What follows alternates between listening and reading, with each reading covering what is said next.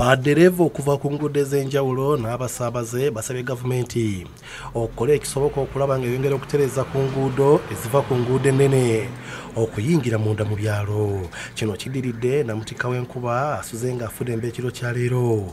Aleeseewo akalippagano k'ebidduka we bukeeredde fanya gyengezezaako okukozesa sole totomes so simanyi kigenda mu maaso kubanga government they can't just block all, all roads in one, di one division at the same time ne bagamba they are trying to plan for us. At least bagezeeko okukola eki- ekiro bawongeremu amaanyi g'abasirikale bangi.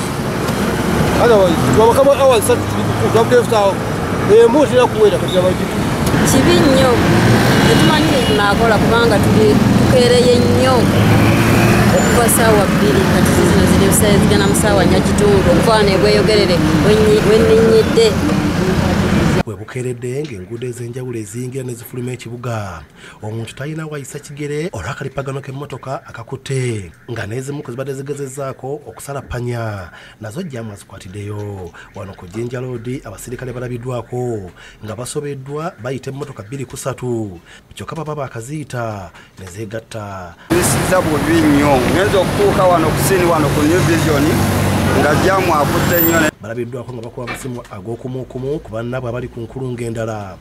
Okulaba nga bata emmotoka naye nga tekisoboka basabye gavumenti eyongere ku maanyi g'oku nguudo okulaba nga bakozesa amafuta matono ng'ate nago ensangi gano ga buseere. Nnyo navudde waka saawa emu nedakika kumi na musanvu ebulindo bakudemeka emu kumi na musanvu ebulindo paka kati amafuta ge gebbeeyi tumaze almost close to 3 and a half hours in traffic.